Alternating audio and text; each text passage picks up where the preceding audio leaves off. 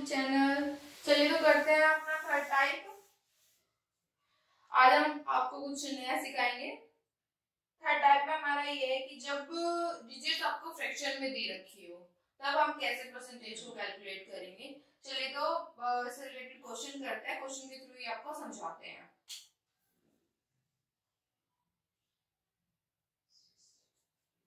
A is 5 by 8 of B. Find, sorry, then find B is what percent less than, sorry, more.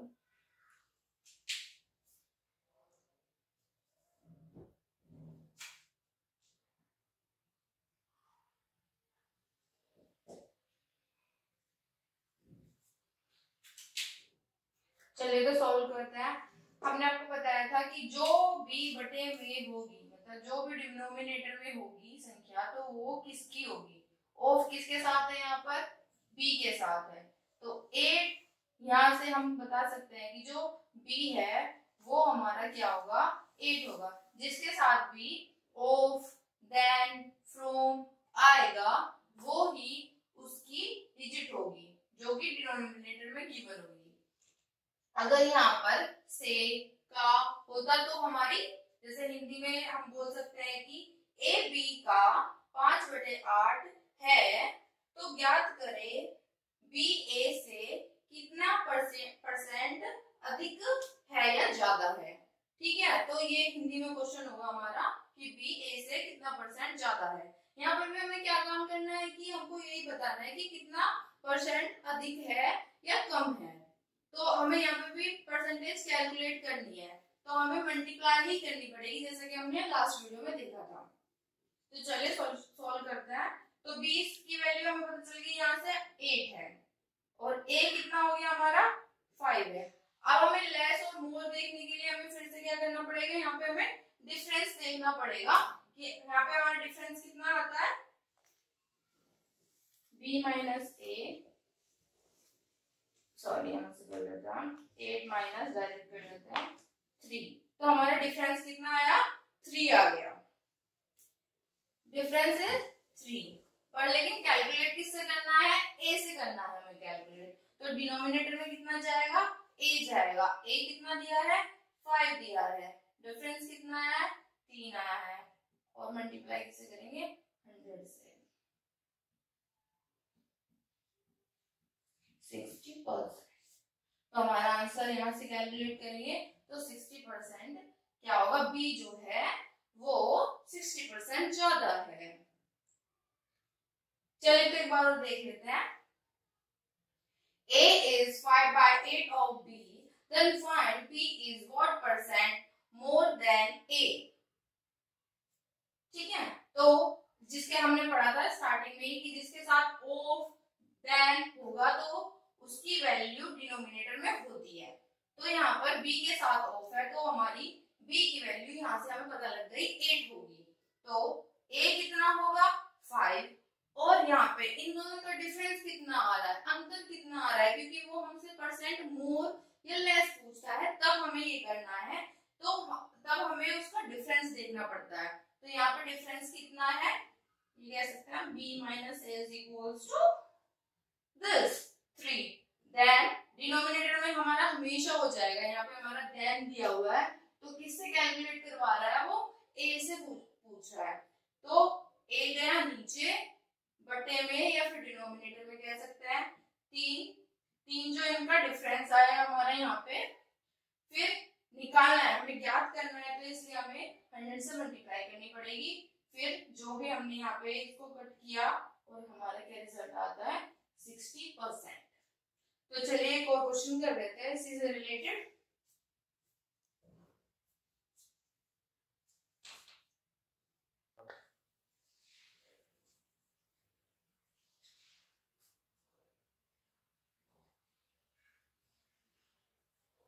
तो चलिए एक और question कर लेते हैं।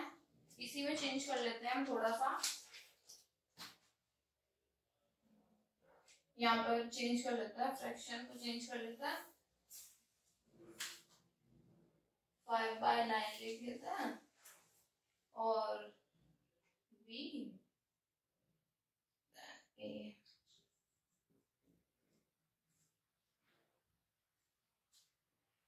यहाँ पे भी चेंज कर लेते हैं ए और यहाँ पे हमारा बी हो जाएगा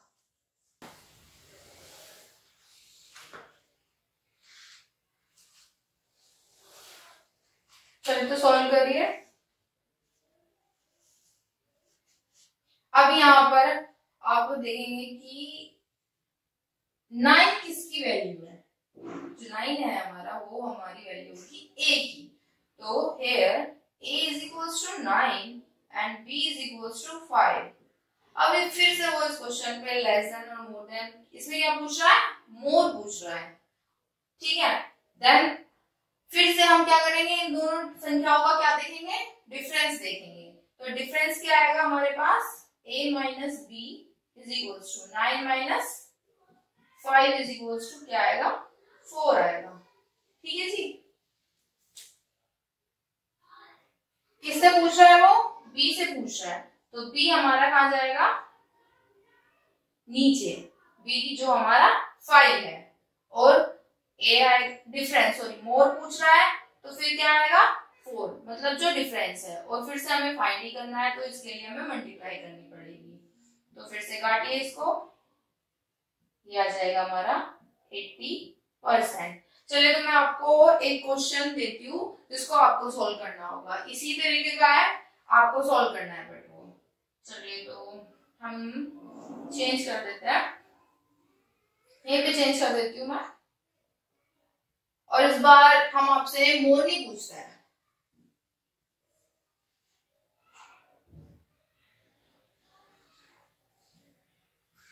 ऑफ़ पूछते हैं। ऑफ़ बी और यहाँ पे, यहाँ पर आप लीजिए, कितना लेंगे आप? फोर बाय फाइव ले लीजिए। ठीक है? तो ये आपका होमवर्क है, ये आपको करना पड़ेगा। चलिए तो फिर हम नेक्स्ट टाइप कर लेते हैं।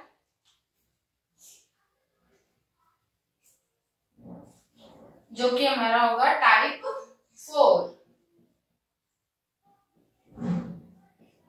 जो नेक्स्ट टाइप है हमारे पास, वो क्वेश्चंस आपसे इस तरीके से पूछेगा कि कि कोई संख्या है जो आपको दूसरी से ज़्यादा देती है। जैसे like B is twenty five percent या twenty five percent more than A then find a is what percent? Less than a.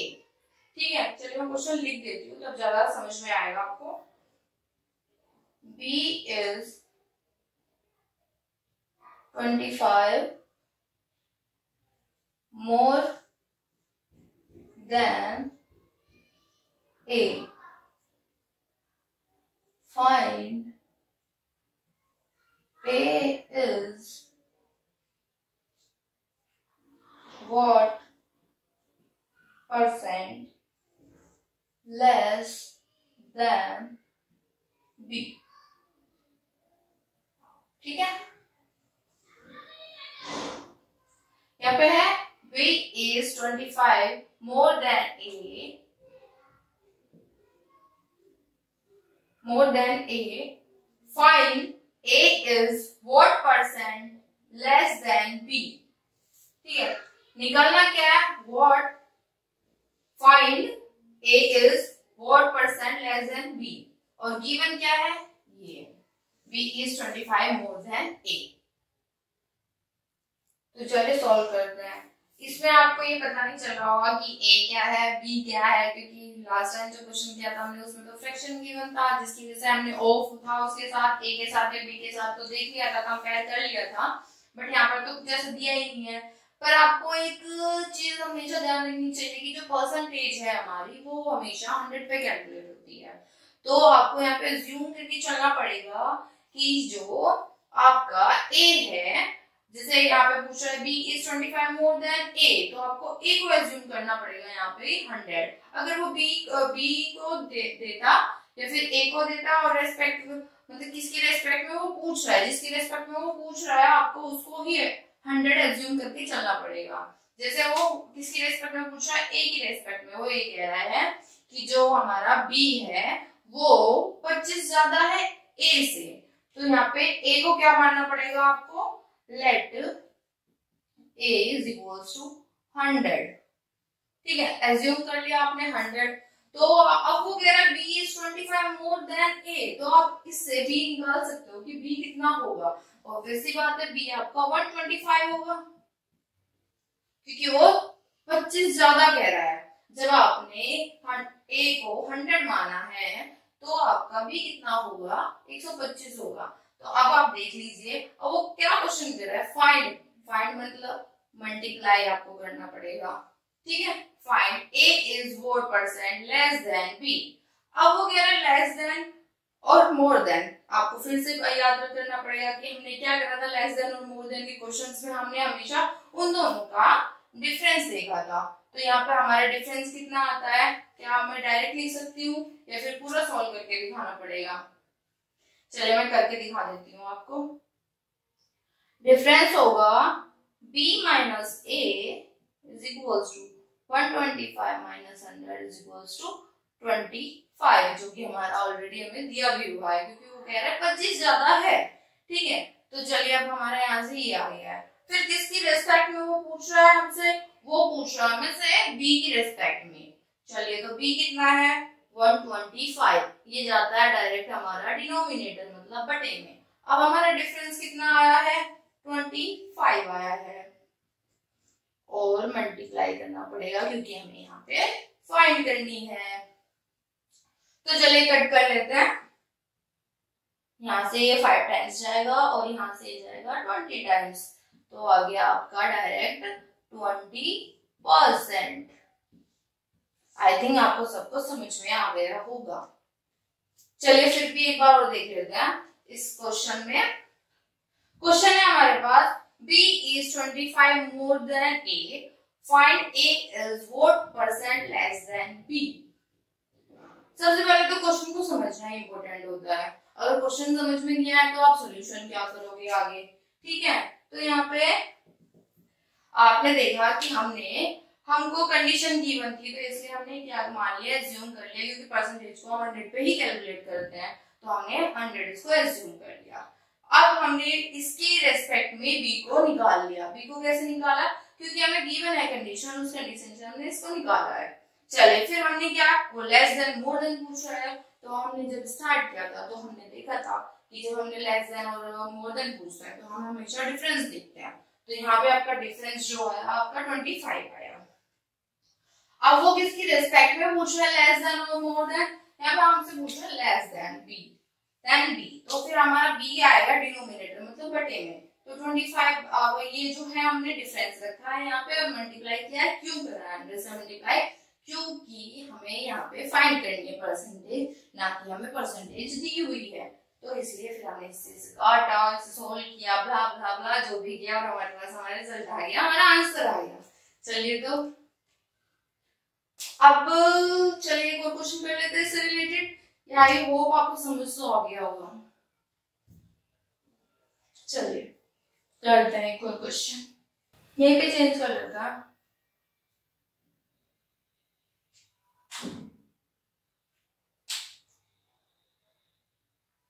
Sorry इसमें हो गई। यहाँ पे परसेंटेज और लगा लीजिएगा। ठीक है? वो मैं भूल गई थी बट कोई बात नहीं, लगाओगे भी, नहीं लगाओगे तो भी चल जाएगा, कोई दिक्कत नहीं है बट लेकिन इसी में कर लेते हैं हम थोड़ा सा चेंज क्वेश्चन में और उसको एक्सप्लेन कर लेते हैं दोबारा से। चलिए फिफ्टी परसेंट है ना? इसको कर लेते हैं।